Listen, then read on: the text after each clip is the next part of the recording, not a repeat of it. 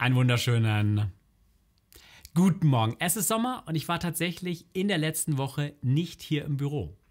Aber ich habe natürlich trotzdem mit Fingern auf eine Tastatur getippt und weil ich keinen mobilen Mac besitze, da habe ich mal darauf geachtet, welche macOS-Software mir im iPad tatsächlich fehlt oder welche Apps ich vermisse. Ich habe mal bewusst darauf geschaut, für welche Aufgaben ich mich auf meinem Cloud Mac ferneinwähle und was dieser Mac dort noch regelmäßig für mich tut.